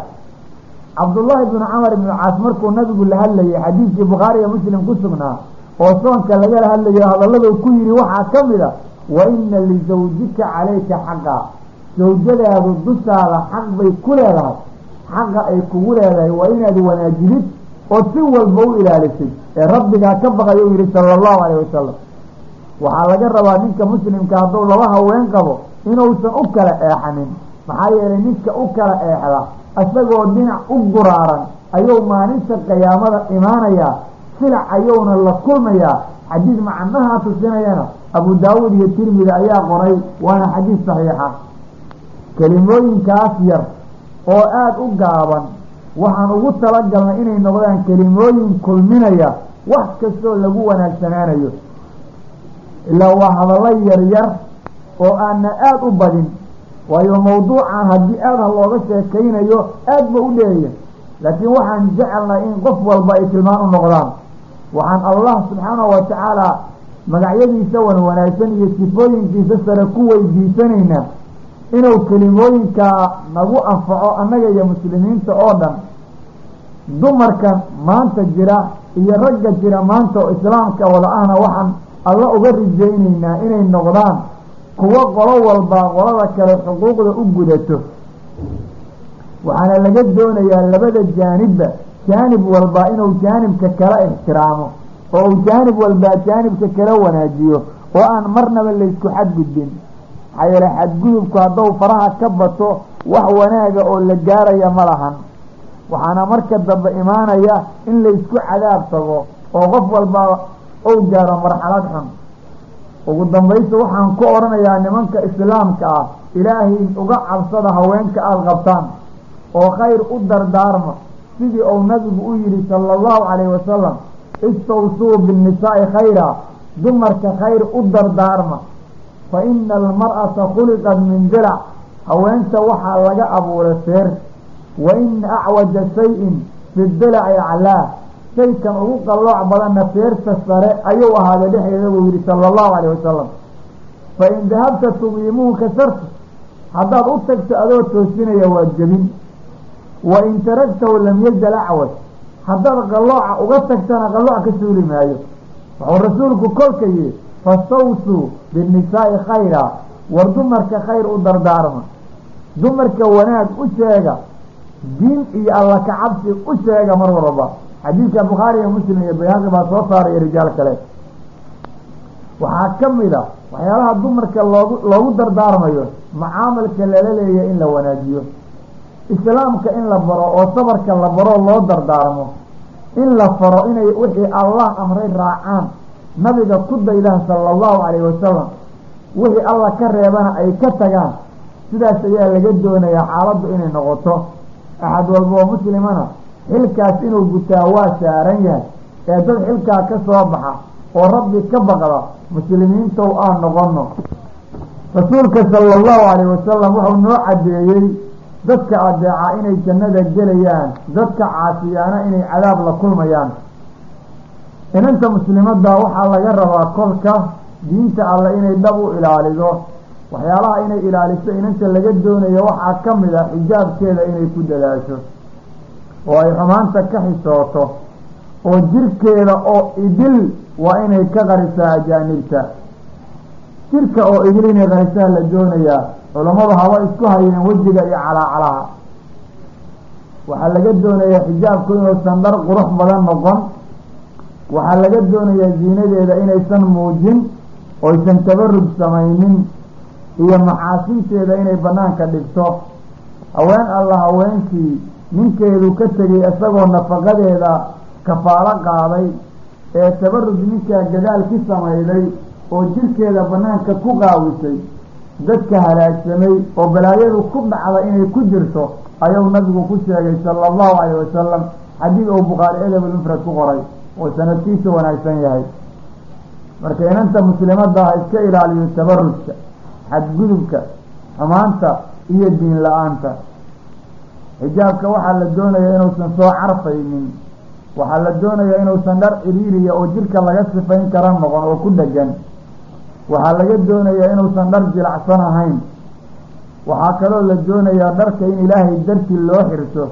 Leanna rasuulku wuxuu yihi sala allahu calayh wasalam ruba kaasiyatin fi dunya caariyatin fi laakhira waxaa badan in la arko dad dumar oo adduunka ku lalabisan ratir fara badan aakhirana naxariistii alla ka qaawan oo cadaabka alla tegaya iyo meel alla ka carooda oo kale ah. Waxyaalahaas ilaahay ka caroonayo halayska ilaaliyo rabbina ha laga boqo subxaanahu wa tacaala muslimadana waxaa laga doonayaa inaysan noqonin dumarkii ou nabigu yihi waa caariyaad waana dharna way qabaan wayna qaaqaawan yihiin. Jannada alla geli maayaan carabteedana heli maayaan. Ilaahay naguma daro kuwaas waa kuwo balaaya ku dhacday sida laga garanayo adilada. Marka walaalayaal dad dadaala oo rabbi ka cabsada oo alla janno ka dalbada oo dariiqa jannada ku dadaala aan noqono qofkii camal saalixa la yimaada isagoo iimaan leh camalku isaga oonbow anficin. Cid kaloo ka rabtana ma lahan. Markaad rabbigaa ka amar qaadatid oo daacada alle ku dadaashid oo dariiqii nebiga martid ayaana adigana alla ku caawinayaa ilaahay hana caawiyo hana nagu daro kuwa uu adduunka iyo aakhiradaba badbaadiyo. Waxaan allah ka magangelaynaa silac adduunyo iyo saxariir aakhiro intaba. Waxaan allah weydiisanaynaa inuu iimaankeena siyaadiyo nagu sugo diinta islaamka dulli iyo dhibna oo gaalada ku sallido dadka muslimiintana oo xiriiriga ay maanta qabaan ugu bedelo dowlo islaamiya iyo meel ay ku raaxaystaan oo ay allahooda ku caabudaan. Raaxada aan sheegayna waa in diinta lagu dhaqmo waayo qofka muslimka raaxadiisu waa inuu xaqa u jeedo. Munkar la reebayo iyo macruuf la arka la amrayana oo mar walba arkayo. Raaxo kale qofka muslimka ma haysto. Haddaba meelaha laga bilaabo wanaagga aqalada ayaa ka mid ah. Labadii qofood oo aqal dhistaaba aqalka ha ku dadaaleen inay diin ku dhaqaan oy rabbi uga baqaan oy diinta alla isu dardaarmaan oy owlaadooda xaqa baraan oy xumaanta ka celiyaan. Sidaa haddii la yeelo waxaan rajaynayna in wanaag badan la gaarayo. Ilaahayna hana gaarsiiyo wanaaggaan isaga ka dalbanayna isaga ayaa awood leh. Allahuma yaa muqalib alquluubi sabit quluubana calaa diinik. Allahuma aqim dowlat alislaami calaa wajhi ilardi kuliha wajcalnaa sababan laha اللهم انصر الإسلام والمسلمين. اللهم انصر المسلمين في الجزائر وفي أفغانستان. اللهم انصر